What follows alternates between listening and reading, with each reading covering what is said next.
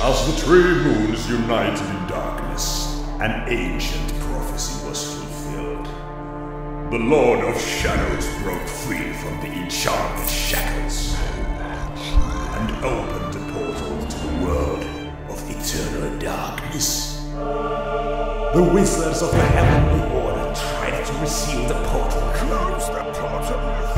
but failed in the attempt and were eaten by the Demogorgons. Now the only thing standing between the terrors of the underworld and our world is you.